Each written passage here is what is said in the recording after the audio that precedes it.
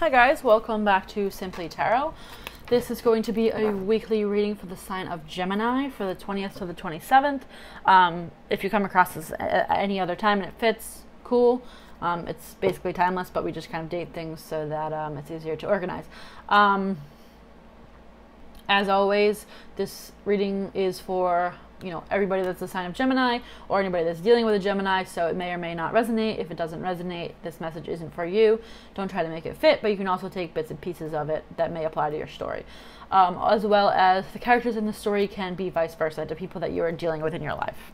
All right. Gemini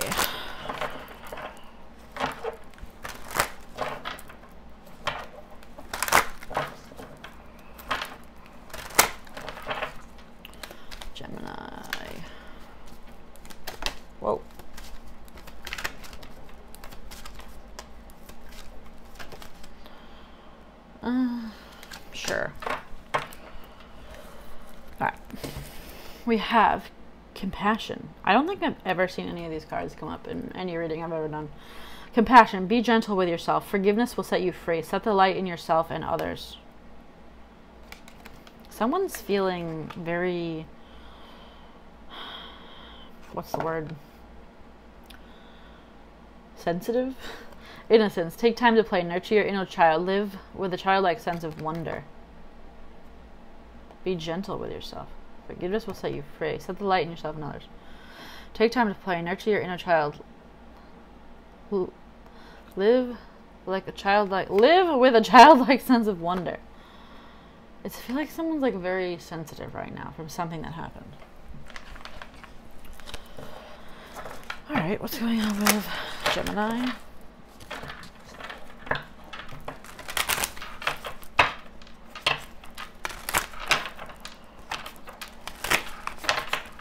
Gemini.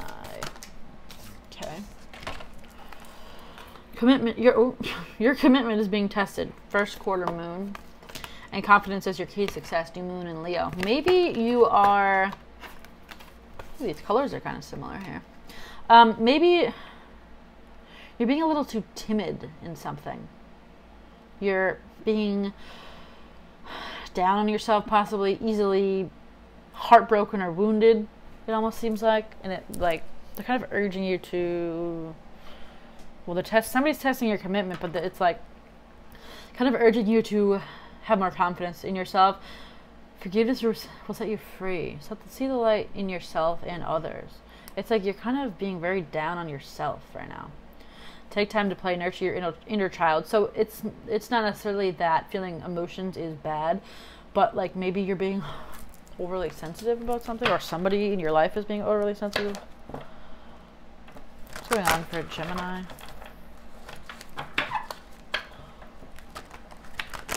That was lovely. I've used these cards so many times, they're like so broken in compared to the others.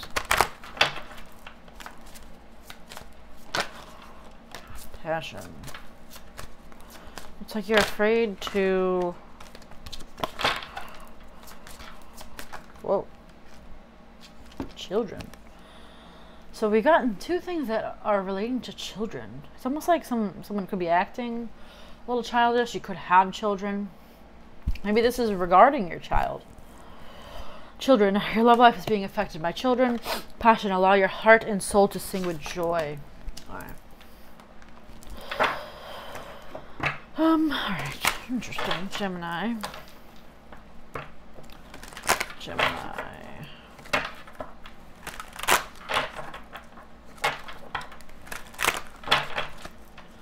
What's going on with oh. Gemini, please.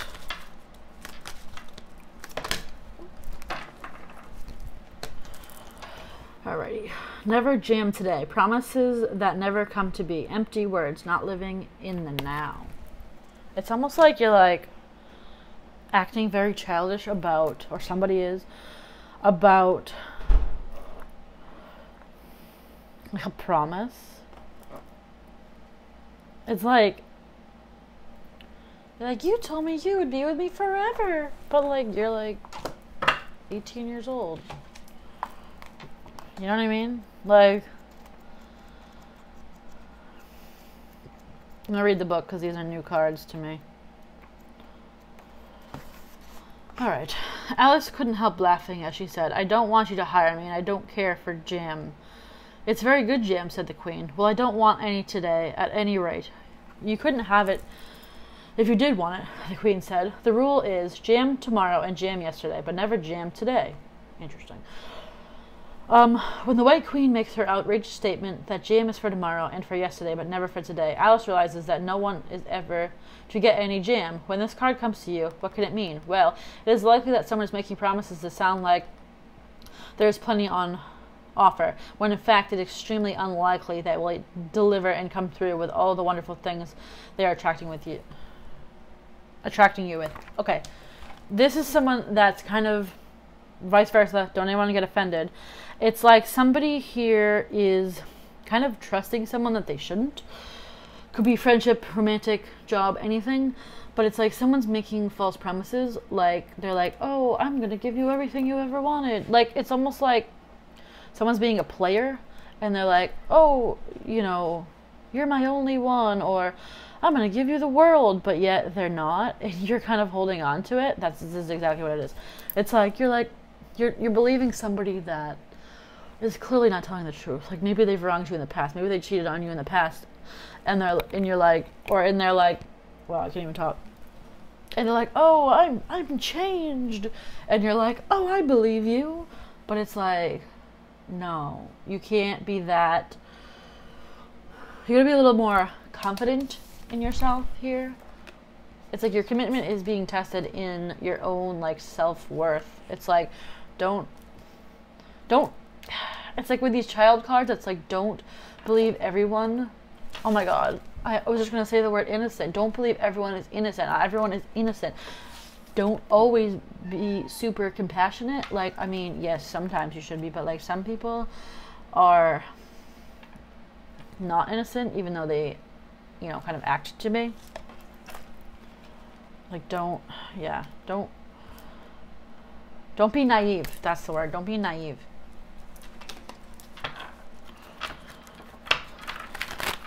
Going out with Gemini. This cat has all been my business today. It's because I was away this weekend. She only likes me when I come back from a trip. You know, that kind of goes along with this reading. She only likes me when I come back from a trip. They only like you when it's convenient or something like that. But they maybe they tell you they're busy all the time, but they're really not. Hmm. Oh dear. Okay. Going on for Gemini, please. Cards are so creepy, man. Ooh. Ah. So, um, okay.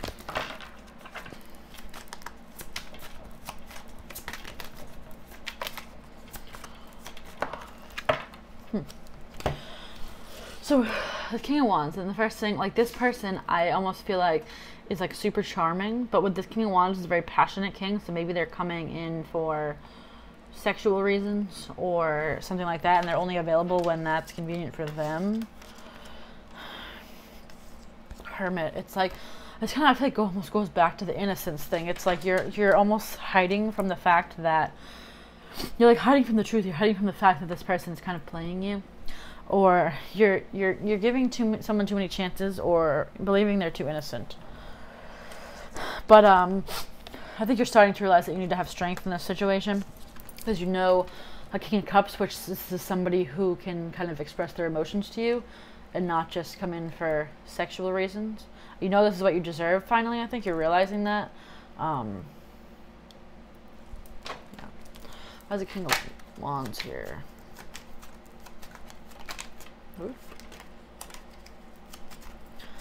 Um, a king of wands. The wheel. Yeah, it's like you are starting to realize this. You are starting to realize that maybe um, not everyone is as innocent as you think they are. Why is a hermit here? Like, don't let people take advantage of you, basically. Hermit. Eight of pump, pumpkins, eight of pentacles. Like you're working on something. You're working on. What are they working on? Temperance, peace.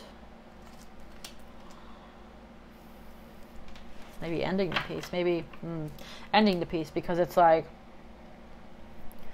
you've been giving someone free passes, like, oh, you're innocent. I know you didn't mean that, but like you're like you're working on ending the peace almost with this cycle change, and then like kind of sticking up for yourself and having confidence. Why is it strength card here?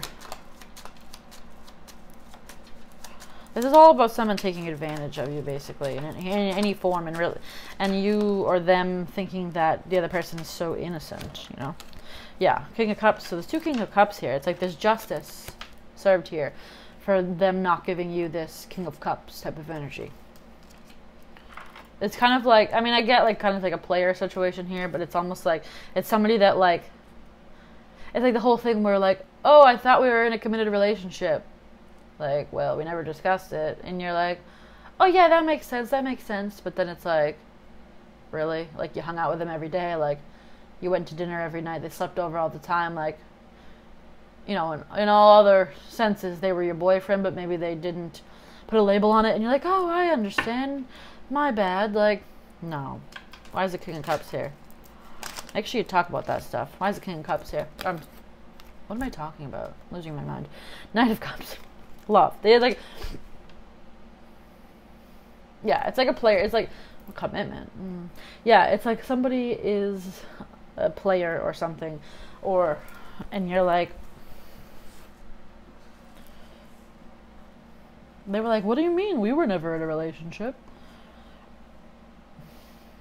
Yeah. And you believe that. So here's the thing with that stuff, like a lot of people are too afraid to like ask, are we are we committed? Are we exclusive?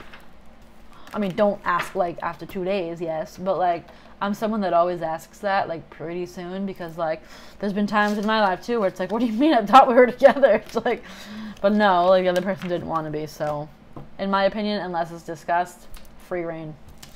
So, anyway, hopefully that was helpful. Please give me a thumbs up if it was and subscribe if you want to see more videos from me and make sure you hit the bell notification so you can get notified when I post those. Um, yeah, thanks for watching. Peace out. See you guys next time.